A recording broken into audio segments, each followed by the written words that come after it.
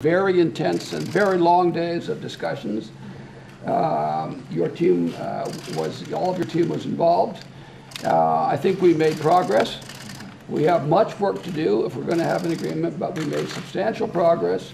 We focused on the most important issues, which are the structural issues, that is protection of U.S. intellectual property, the stopping forced technology transfer, intellectual property protection, agricultural and services issues, and enforcement, enforcement, enforcement. Both sides agree this agreement is worth nothing. If we can get an agreement, it's worth nothing without enforcement. Uh, When President Xi and I meet, we want to have it down so that we have certain points that we can discuss.